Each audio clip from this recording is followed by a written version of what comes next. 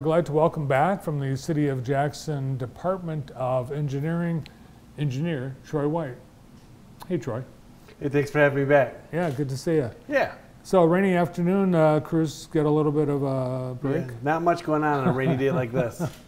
Not very productive. With the beautiful weather we've had, though, over the last few weeks, it's got to be a boon to the uh, projects. Yeah, we've been uh, making some progress. Um, you know, there's those challenges right now of um, there's so much work out there and getting the uh, getting the work done and finding the manpower to do that. But um, the weather's been perfect. We're kind of at that time of the year where we're, you know, trying to wrap things up before winter gets here. But we're and we're in pretty good shape for that right now. Days like this, it's a minor setback, but it'll be okay. We Nice. got we still got plenty of time left, and we're uh, So, you're faced with the same issues everyone else has uh, the uh, worker, uh, the, labor pool. You just don't. Yeah, our contractors, you know, they, they struggle to have enough guys to, or enough people to, uh, you know, to keep things moving full full speed. The other challenge is always going to be materials. Mhm. Uh, you know, on our light our light signals, it takes a year to get poles in now. Um, on other materials, it takes a while. So there's there are those challenges, but it, it is getting done.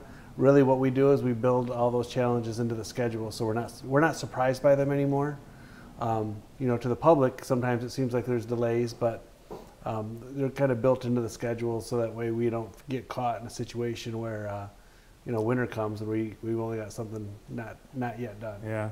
So those uh, those black uh, mast arms, which uh, I think everybody agrees that make uh, the city and the intersections look awesome, those aren't off-the-shelf items. No, those are custom fabricated per installation. Um, I think the ones we've been waiting for recently, they uh, they get fabricated down in Texas. Actually, they get uh, painted in Southern Ohio, and then they uh, make their way up to Jackson eventually. But um, you know those that type of work's being done for all over the country. You know, there's there's limited manufacturers, um, the limited limited number of manufacturers. So uh, it's just kind of you, you get your paperwork in as quick as you can and uh, get on the list, and then they get to it when they get to it. And I'm, I'm sure they're uh, I'm sure they're working at full capacity, but full capacity just isn't enough to keep up with the demand right now. Yeah. Well, let's take a look at a couple of the projects that are still underway in the city. First, we'll look at North Street between Wisner and West, and everybody's uh, really happy about this uh, project because it's uh, it's been needed. Yeah, it's just a it's a removing the pavement and replacing the pavement. Um, it's a it's a pretty straightforward project. The biggest challenge on a project like that is we need to maintain traffic for people running businesses down there.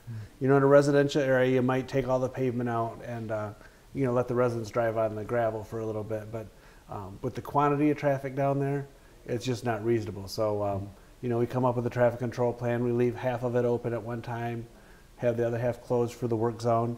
Um, but you know, when you close half the road, that means you have to reduce. It is open for traffic, but it's only open for one-way traffic. Yeah. But uh, you know, every property remains accessible.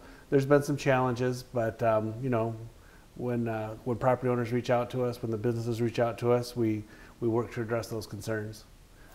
Yeah, uh, Wisner North uh, intersection, uh, as an example, is uh, very challenging, but um, there are ways to avoid it, and there are some workarounds. Well, and if you need to go there to uh, to go to a store, you can do it.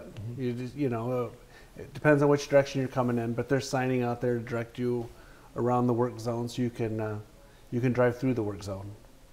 All right, and the other project uh, we want to check out is the MLK Equality Trail Yeah. between uh, West and Prospect. Yeah, West and Prospect. I see you got um, you you- the the footage there doesn't show that they were out there. I think they were out there yesterday and the day before, actually placing concrete.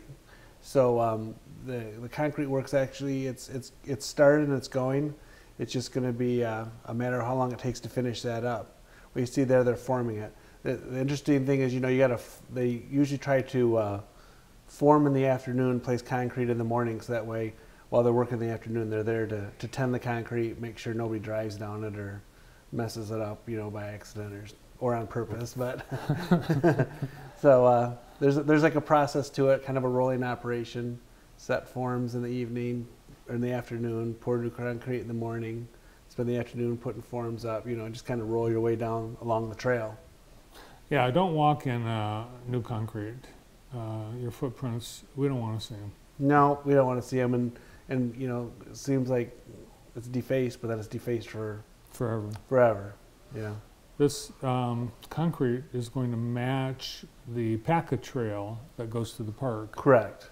Matches the packet trail, and pretty much that's our standard. You know, we've um, the the other portions of the MLK trail that we've we've uh, rebuilt, like down by the King Center, Mhm. it matches that, and um, uh, you know, it gives us a more durable surface. It'll be longer lasting.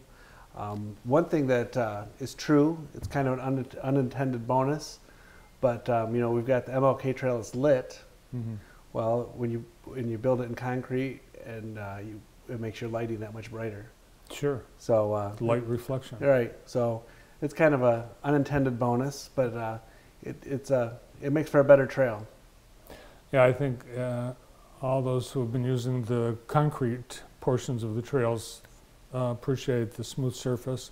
It is uh, noticeable, and um, I think just about everybody likes it better. Yeah, I think so. And the other thing is, you know, now that we're rebuilding the trails, the, the original trail was built, I think, in 1992, Hmm.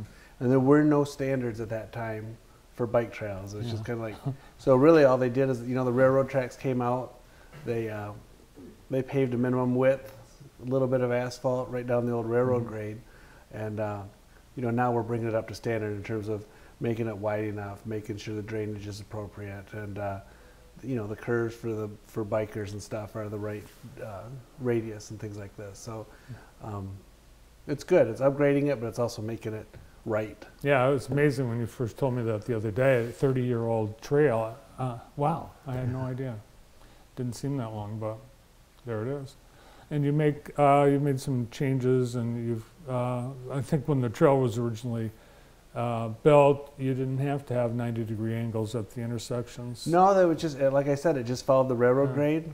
So for some intersections, it crossed pretty good, but like on some of them, it was quite it was quite a quite an angle, Yeah. which um, made the crossing distance, you know, doubled the crossing distance. While you get to Prospect, which is a very wide road, wider than it needs to be, but then you make that even wider by putting the crossing on an angle, and uh, it made challenges. So at some point, uh, we were able to secure some safety funding and and um, shore those up, get better signing, reduce the crossing distance, that type of thing.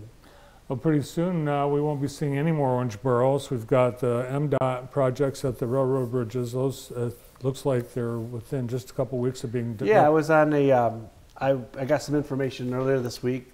They're still planning on being out of here by the end of the month. So I do know I've I've you know walking the dog going by there, and I know they have the uh, they have the curbs in now. And I think right now, if it wasn't for the weather, they'd probably be putting the sidewalks in. So Mm. you know, once the curbs and sidewalks in, really what you're left to do is to pave it and um, pave it and put down your grass and grass seed. So um, when they say we're going to be done by the end of the month, I think that's that's very reasonable. And that's it for the year then. Yeah, till till next year. then, it all starts over again. Yeah. Well, you guys have done a great job. Uh, everything you do, we've had uh, improvements on uh, how our community looks and functions. Uh, thanks so much. Yeah, thanks for having me. Uh, from the City of Jackson Engineering Department, Troy White.